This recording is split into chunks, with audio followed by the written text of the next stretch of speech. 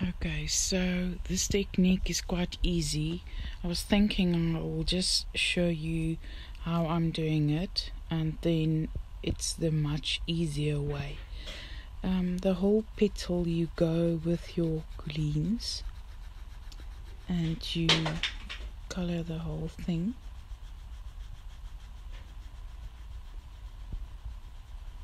Just like normal light, and then from the start of your petal, you just go over it a little bit and go over it a few times and you eyeball it till you're happy with it. But the end of the petals should be a little bit um, lighter, and towards the start of your petal, it will be darker. So you can directly go.